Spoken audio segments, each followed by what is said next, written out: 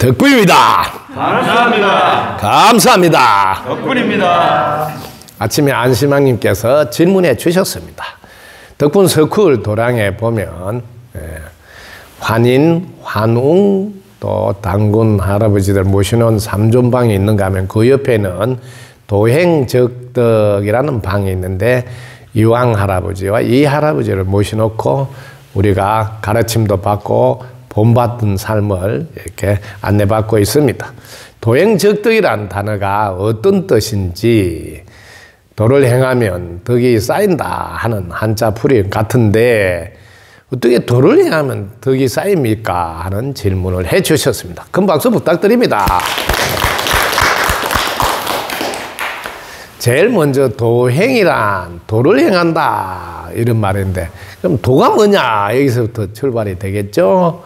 여러분들이 알고 있는 도는 자신을 바르게 아는 것이 도입니다. 이 세상이 어떻게 돌아가는지 아는 게 도입니다.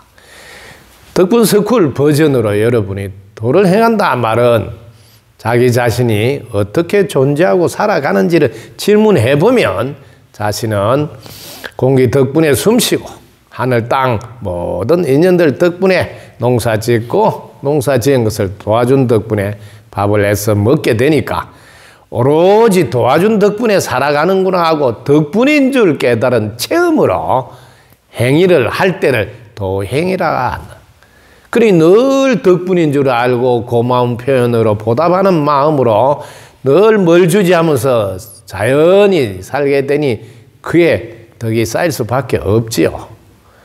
여러분들이 행하는 모두가 덕분이라고 하고 행하니까요. 뭘 했을 때, 아, 내가 했다요. 내가 한다. 이런 것이 아니라 도와준 덕분에 했습니다. 하고 도와준 덕분에 합니다. 하고 도와준 덕분에 또 살아왔으니까 지금까지 앞으로도 도와준 덕분에 잘 될 수밖에 없다 하면서 또 살아가는 행위 도행입니다. 그리고 전체와 나가 연관되어 하나이라서 전체가 나고 내가 전체라 당연히 전체에게 하는 일들이 내 일이다 하고 하는 것이 도행입니다. 그래서 어떤 경우에도 내가 했다는 상의 없이 함이 없이 하는 것이 도행이라 할 수 있습니다. 깨달은 자는 묵묵히 감사하고 보답하고 고마워하는 행을 한 발 한 발 지금 여기에 있는 인연에게 소중히 하면서 행위를 하고 또 고마움의 표현을 내가 할 수 있음에 고마워하는 행위도 하고 또 해준 것에 고마워하는 행위를 하는 무심일상 삼매가 도의 행위입니다. 즉 도행입니다.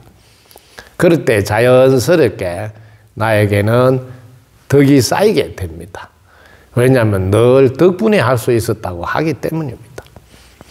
그리고 내 주위에도 또 다른 나라고 생각해서 또 다른 나를 늘 사랑하는 행동을 옮기니 그걸 본받아서 사람들이 하게 되고 길을 지나가더라도 저 가게가 내가 운영하는 가게라는 생각이니까 저 가게도 잘 되라고 늘 안내하고 또 인터넷 통해서 인스타그램이나 어디든지 페이스북이든지 다 또 다른 나에게 이 도행을 할 수 있도록 늘 덕분 철학을 안내하는 이런 것이 덕을 쌓는 행위라서 그렇습니다.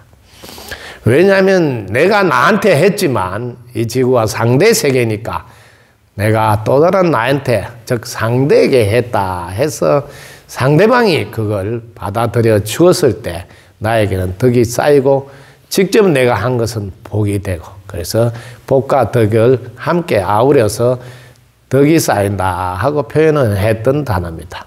거기도 한발 더 나가서 상이 없는 행위는 공덕이 되니까 단지 덕자 하나만 써놨지만 거기에는 복덕과 공덕이 포함된 단어다. 이렇게 넓게 해석하시면 되겠습니다. 덕구입니다. 감사합니다. 감사합니다. 덕분입니다.